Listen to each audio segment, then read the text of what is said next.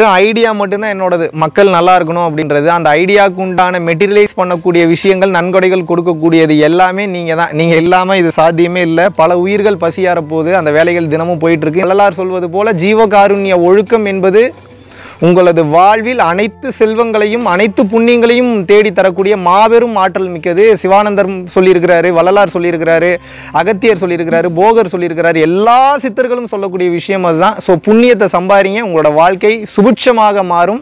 ஒரு ரூபாயாக இருந்தாலும் அது நிச்சயமாக அதற்குண்டான புண்ணிய பலன் உங்களை வந்தே தீரும். உங்களை வந்து நிச்சயமாக அடையும் என்பதை சொல்லிக்கொண்டு வீடியோக்கு கீழே டெஸ்கிரிப்ஷனில் எந்த அக்கௌண்ட்டுக்கு பணம் அனுப்பணும் நன்கொடை அளிக்கணும் அப்படின்றத மென்ஷன் பண்ணியிருக்கோம். வாழ்க வளமுடன் குருவே சரணம்.